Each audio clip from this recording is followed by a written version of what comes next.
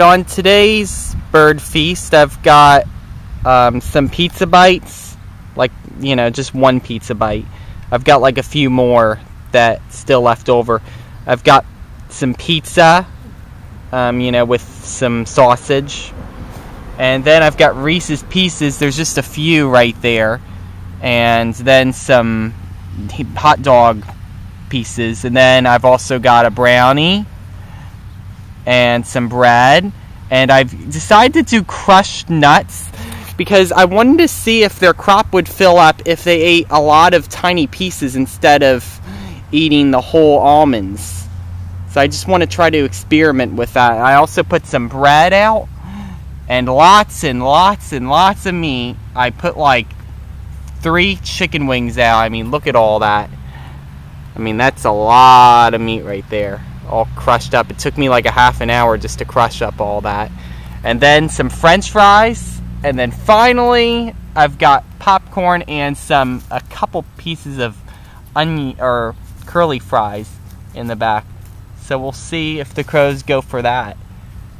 And if this doesn't get the crows to come, nothing will. I just don't understand why they have to eat just meat all the time. I mean, they eat other things too. I mean, I've done my research. My research has never been wrong. My research has never been wrong. I've always been right. And they eat 50% plant matter and 50% animal matter. And I know these things, they're, they're no different than any other bird. Just like house sparrows. House sparrows are the same way. They eat mostly meat during the breeding season but I mean, I mean, during the other times of the year, they only eat like four percent meat. But they can eat more meat. I mean, they, more or less. It doesn't matter. It's all they. The house bears are stupid, anyways. So that's why they uh, eat table scraps in the city and stuff.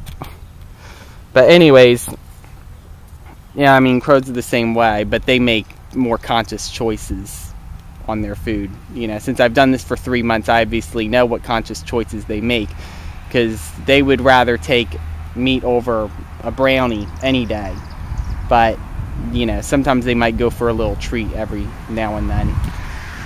Well, anyway, so this is everything right here. And I'm going to go ahead and set this down and see what we come up with.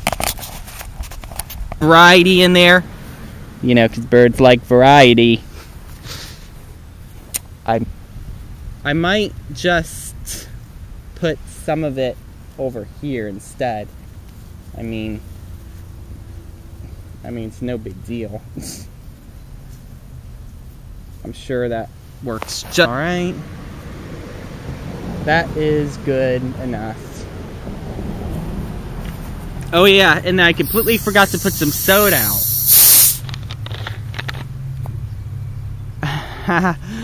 I'm sure everybody's gonna be hating me for putting this out. Okay, there's the soda. Drink up.